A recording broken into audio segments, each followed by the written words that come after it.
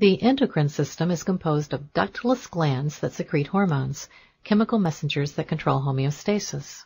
The hypothalamus controls the secretions of the pituitary. Nerve cells in the hypothalamus send releasing hormones to anterior pituitary to release hormones. Hormones are growth hormone, TSH, ACTH, MSH, FSH, LH, and prolactin. Hormones produced by the hypothalamus are stored in the posterior lobe of the pituitary. Hormones are ADH, increases the reabsorption of water, and oxytocin, contracts the pregnant uterus. Pituitary gland is called the master gland because it controls the function of other endocrine glands. T3 and T4 regulates metabolism of nutrients for normal growth and matures the nervous system. Calcitonin lowers blood calcium and phosphates. Parathormone raises the blood calcium to normal levels.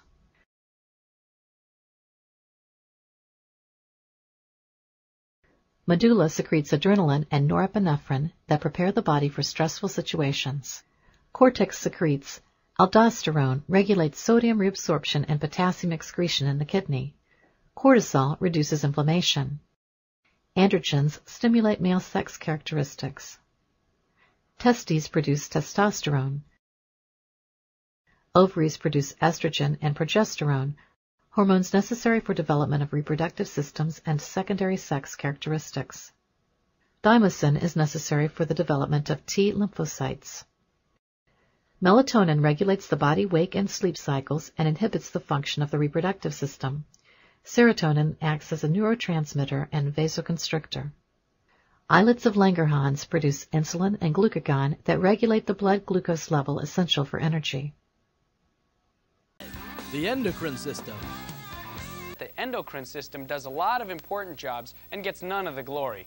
Think about it. There's a bumper sticker that says, I heart my mom, but are there ever any that say, I thyroid gland my mom? the respiratory system inspired the phrase, you take my breath away. But does anyone ever say, you regulate my growth? No.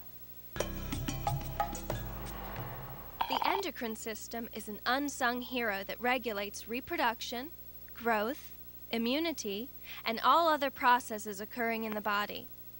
Basically, it maintains a stable environment for the body called homeostasis. This environment helps all the other organs of all the other systems to function properly. But all you have to know is that without the endocrine system, there'd be no life. Still, the endocrine system never gets the credit it's due. But today, it will. Section A Organs of the Endocrine System. The super exciting organs of the endocrine system are small and dispersed throughout the body, and they're all responsible for producing chemicals called hormones. Hormones are sort of like chemical messengers. They are secreted into and carried by the bloodstream. Then the hormones travel to individual target cells that they act on. In other words, they bind to specific receptors on target cells to alter the cell's activity. The major endocrine organs are the pituitary gland, the thyroid gland, the parathyroid gland, the adrenal gland, the pancreas, the gonads, the pineal gland, and the thymus. People sometimes call the pituitary gland the master gland because hormones released by it direct the activity of almost all other endocrine organs. The pituitary gland is located below the hypothalamus. It's connected to the hypothalamus by the infundibulum, which is a funnel-shaped stalk structure. If you're confused about what the hypothalamus is, it's part of the diencephalon of the brain, and it's discussed in the Anatomically Correct World of Anatomy, Part 1, in the section on the brain. All you really have to remember is that the hypothalamus produces hormones. The pituitary gland can be divided into two regions, the posterior and anterior lobes. The posterior lobe is made up of nerve fibers and acts as a storage area for two hormones produced by the hypothalamus. One of these hormones is oxytocin, which initiates uterine contractions during parturition, or labor, as most people know it. Another hormone is the antidiuretic hormone, or ADH, the main function of ADH is to stimulate the reabsorption of water from the collecting tubules. ADH is also known as vasopressin. The anterior lobe of the pituitary gland is made up of a glandular tissue that manufactures a whole heap of hormones called tropic hormones. They are, now brace yourself, because this is a mouthful. The cells that produce the tropic hormones are the somatotrophs, the thyrotrophs, the corticotrophs, the lactotrophs, and the gonadotrophs. The somatotrophs include the growth hormone, or GH. The thyrotrophs include the thyroid stimulating hormone, or TSH. The corticotrophs include the adrenocorticotrophic hormone, or ACTH. The gonadotrophs include the follicle stimulating hormone, or FSH, and the luteinizing hormone, or LH. And finally, the lactotrophs include prolactin. Now, you want to hear the details? Do we have a choice? Well, to cut you a break, we'll only give you the details on one of those hormones, GH, the growth hormone. The rest you can learn about in physiology.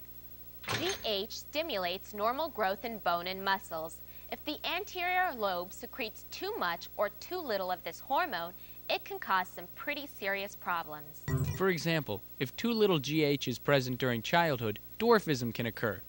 If there's too much GH in children, gigantism occurs. Too much GH in adults, as in the case of our 16th president, Abe Lincoln, causes acromegaly. This causes abnormally large hands, feet, and facial features, which worked for Lincoln but doesn't work for everybody. We'll talk about the thyroid gland next.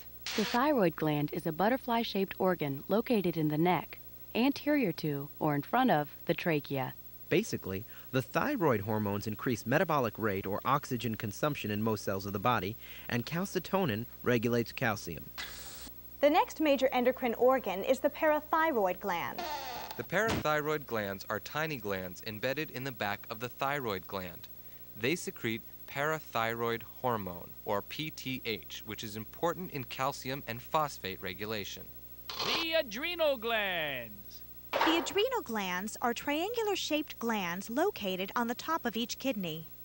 Each adrenal gland is actually made up of two endocrine glands, the outer adrenal cortex and the inner adrenal medulla. The outer adrenal cortex secretes three groups of hormones known as glucocorticoids, mineralocorticoids, and androgens. You don't have to know about these hormones in detail until you study physiology. The inner adrenal medulla is made up of nervous tissue. It secretes the catecholamines, which are made up of hormones epinephrine and norepinephrine. Ladies and gentlemen, the pancreas. The pancreas, which we discussed with the digestive system, is a yellowish tadpole shaped gland located near the duodenum of the small intestine. Aside from aiding in digestion, the pancreas produces the hormones insulin, glucagon, and somatostatin. These hormones are responsible for the regulation of glucose in the body. The gonads. Both males and females have gonads. In females, the gonads are called the ovaries. In males, the gonads are called the testes. We'll breeze over the gonads now, but we'll cover them in more detail when we talk about the reproductive system. Basically, the gonads produce sex hormones that regulate reproductive functions. In females, these sex hormones are estrogen and progesterone. In males, the hormones produced by the testes are called androgens.